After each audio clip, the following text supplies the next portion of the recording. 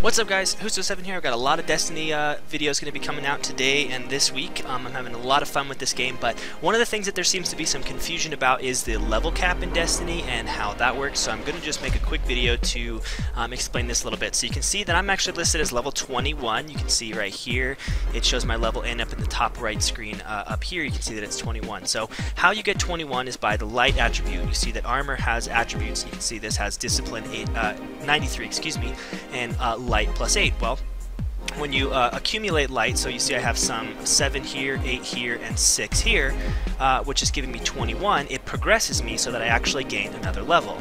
Now, these levels are not permanent, so for example, if I take this armor off, you'll see that my level now goes back to 20, and I do not have enough light now to progress to level 21. So I have to keep the gear on in order to uh, be able to take advantage of that. Now you'll see that my level still is listed as um, level 20, but you can see now it says to increase your level above level 20, find and equip armor which contains light. That's what we're talking about. But now it says earning XP now creates motes of light. So every time you get XP for doing everything you usually do in the game, it actually will give you uh, this progress bar towards a mote of light. And a mote of light looks just like this. I've got one in my bank here, I think. Oh, actually, I guess I've got it in my inventory. This is a mote of light. So this is like a, a, currency now that you can use to purchase gear. So earning XP still uh, rewards you, although now it just rewards you differently because you can uh, collect motes of light.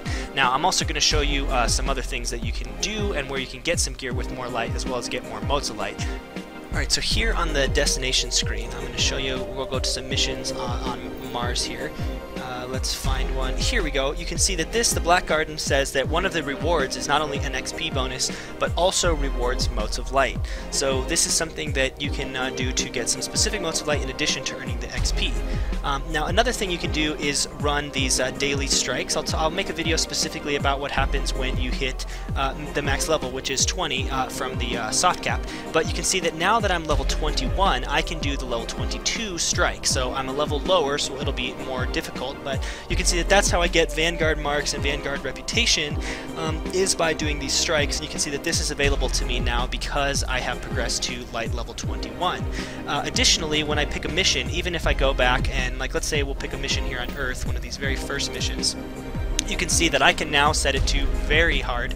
Um, so this is actually not called very hard, by the way. This is showing you uh, what what the difficulty is. So it says it's easy, hard, uh, very hard, or impossible. So I was calling this hard mode. Um, I said that in one of my other videos, but it's actually just a mission modifier, and the mission modifier is just called heroic. So you can see that I can set it to level 24, um, and this will earn, earn me if I uh, go to a uh, more current mission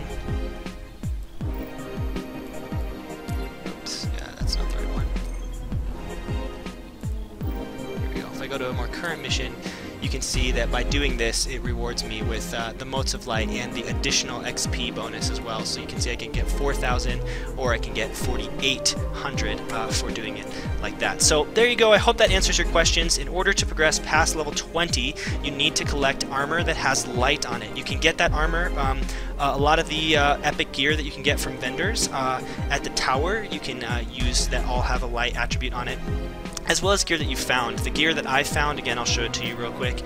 Um, this gear, I got uh, I got this as a reward from a mission. I got my boots from the Crucible, and I got this actually from uh, a drop when I was just doing a story mission. So you can see that you can get items with light. I think they don't start dropping until after you are level uh, uh 20, but once you reach level 20, you will start getting armor with light on it. So hope that clears it up. Feel free to leave a comment if you have any questions. Thanks so much for watching. Be sure to subscribe because, like I said, I'm going to have a lot of Destiny footage coming out today. Thanks so much.